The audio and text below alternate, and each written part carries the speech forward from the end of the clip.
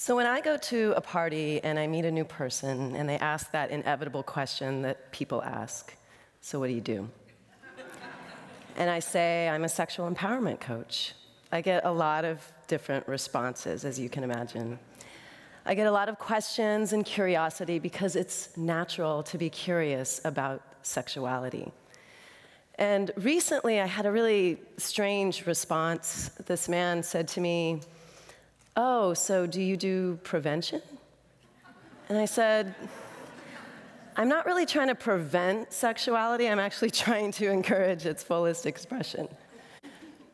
I've been in the field of sexuality for over 20 years.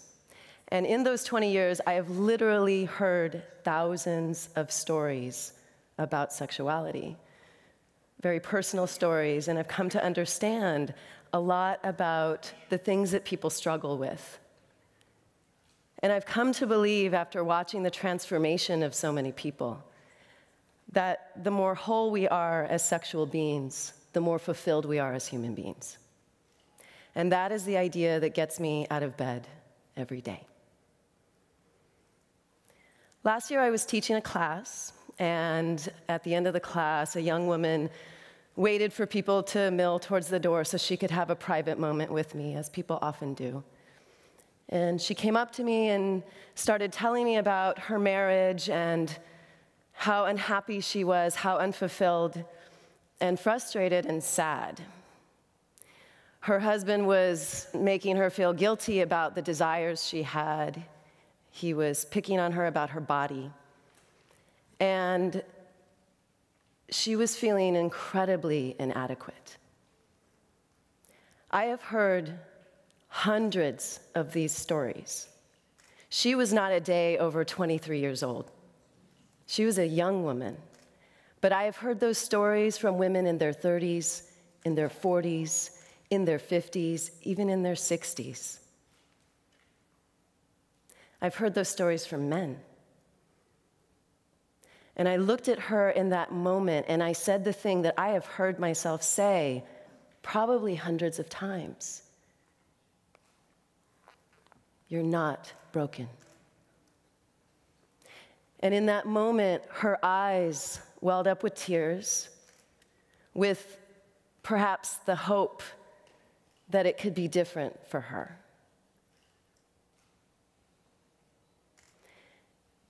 And so I had to start asking myself why do so many women think they're sexually broken?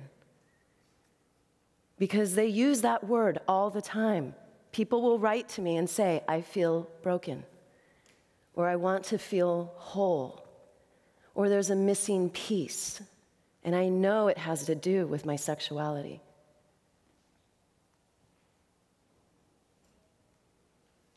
And so I think it starts with the way that we teach people about sexuality.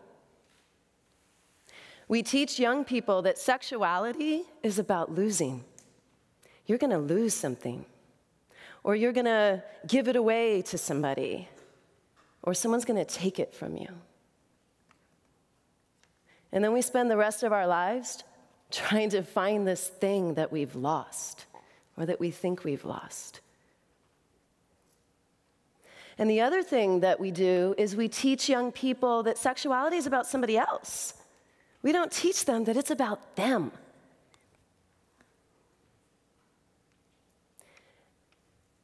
And the other thing that we do is we teach people shame. We all have a story of sexual shame. I can remember that moment very, very clearly for myself. And I bet you everyone in this room has a story about shame. When I was, this is me, about nine years old, and at that age, I had made this really amazing discovery about my sexuality. I had discovered that, that my genitals smelled different from the rest of my body. I was really fascinated by that. I thought that was really interesting. And it was something that uh, I would engage in. I would, I would touch my, my genitals through my clothes. I wasn't even masturbating, and if I was, that would have been normal. But I would touch myself, and then I would bring that scent of my own sex to my nose. And I thought that this was a really important discovery. And that's a normal discovery for a child. And so one day I was following my mother outside in a public place, and I did my little ritual. I probably wasn't even thinking about it, and she whipped around. Stop touching yourself and smelling yourself.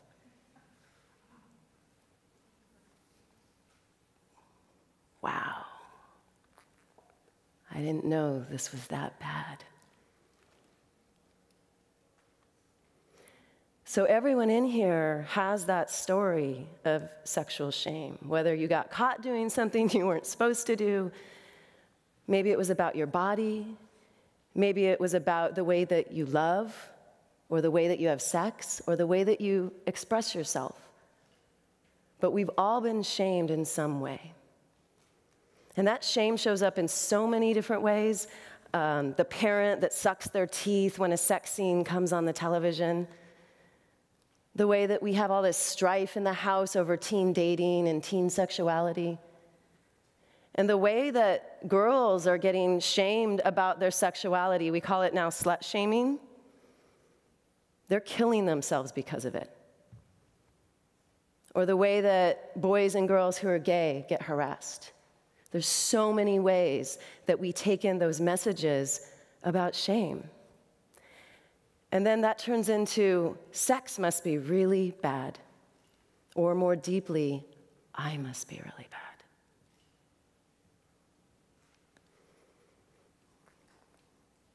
So, what does shame look like?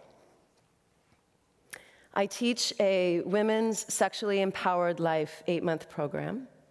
And it is a way for women to really explore their sexuality in a very meaningful way. And these were some pictures that I asked the women to write recently. Um, to draw a picture of what shame looked like. Um, this one you can see, she uses the word broken. This one is similar. They had colored markers available, but it's a very dark place for most people. And then this one, that's how I felt that day. So I have a question for people in the room. How many of you actually had sex education that prepared you for a healthy life as a sexual teen? Let me see hands. Uh, hold them up high. Come on. Aren't there some hands? What? Two? Are there really only two in this whole room? Three, four, five? Okay, wait. Those five of you, keep your hands up. How many of you actually had enough sex education to prepare you for adulthood, for an adult sexual life. Uh, two are left up. Okay, so two in this whole room. That's pretty good. Not so much. Um, so, what if? What if, instead of teaching young people that they're gonna lose their virginity, that we started teaching them that they were gonna gain something? that they were going to claim their own sexual being and body, that they were going to claim their own desire, that they were going to claim, yes, their pleasure. They were going to claim their own sexual choice. We wouldn't grow into adults who think we're broken. And what if we didn't teach them that it's about somebody else, but we taught them it was about them? we wouldn't grow into adults who don't know what they want sexually, who don't know how to ask for it, because sexuality has always been about everybody else. People often ask me um, when they hear that I'm a sex educator, they say, Oh, so do you work with teenagers? Because the, in, the implication is that teenagers are the only ones who need sex education. But adults need sex education too. If we didn't learn it somewhere, then how are we going to have the fulfilling sexual lives that we really want to have?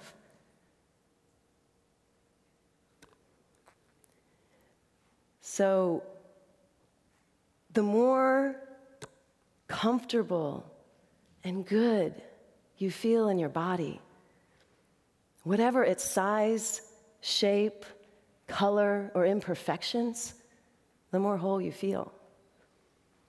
The more confidence you develop, the more whole you feel. The more sexually expressed you are, the more whole you feel. So there's three things I want you to do when you leave here. Number one, stop telling yourself how broken and unfixable you are because you're not. You just didn't get the education that you need. You just didn't get the resources that you need. Imagine how much energy you'll get back when you stop chasing missing pieces and telling yourself you're broken.